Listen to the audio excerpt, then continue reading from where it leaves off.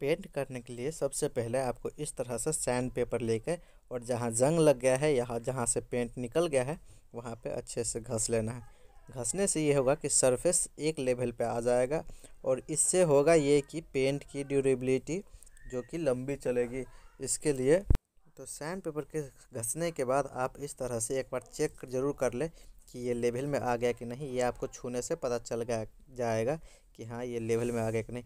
और इस तरह से होने के बाद आप पेंट को इस तरह से सेक करना होगा। कुछ देर सेक करने के बाद आपके पेंट जो अंदर होता है, वो एकदम अच्छे से घुल जाएगा। तो और जब ये अच्छे से घुल जाए तो आप इस पर पे पेंट अप्लाई कर सकते हैं। इस तरह से पेंट अप्लाई कर दीजिए।